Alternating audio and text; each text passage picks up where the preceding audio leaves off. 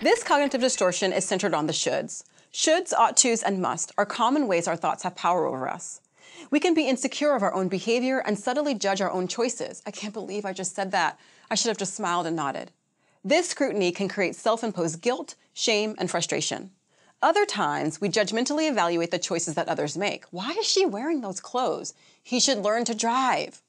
We criticize people, situations, or the world around us, and this can create anger, irritation, and discontentment in ourselves and with others.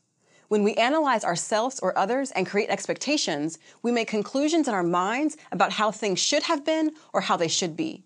And when the outcome is something different than the expectations our thoughts created, we cause stress in our minds, emotions, and even our bodies. Depression lives in the past, and anxiety lives in the future.